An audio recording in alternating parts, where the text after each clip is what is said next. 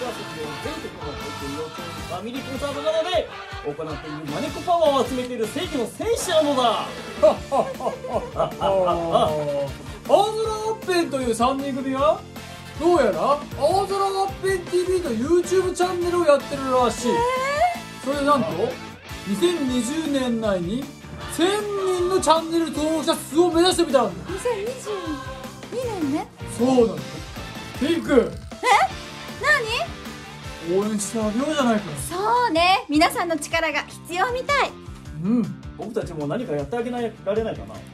そしたらな青空ワッペンの TV で流しているマイムマンシーズン2があるんだけど あれを完成させますよ。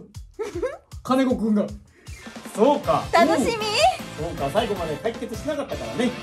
そうだブルー。んもし1000人いったらなんかやってあげることないんじゃないか？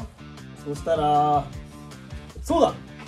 子供たち向けのマイムマンの歌を作ってみようじゃないか。新曲ね。どんな歌だったっけピンク？ちびっこマイムマンっていう曲よ。ぜひチャンネル登録をよろしくな。よろしくね。それじゃあ応援に行こうじゃないか。おう。さらばだおう。青空ワッペン TV